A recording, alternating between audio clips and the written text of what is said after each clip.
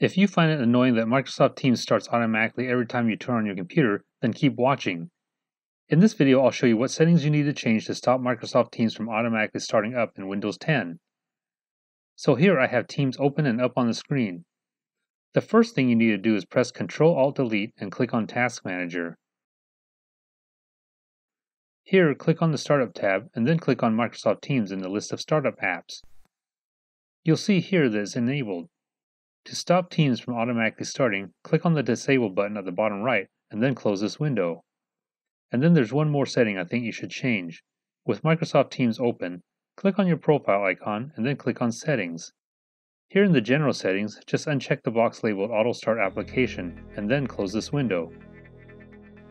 At this point, Microsoft Teams will not automatically launch when you first turn on your computer or do a restart. I hope this video was helpful, and if it was, please give me a thumbs up and hit the subscribe button to stay up to date on all my weekly videos.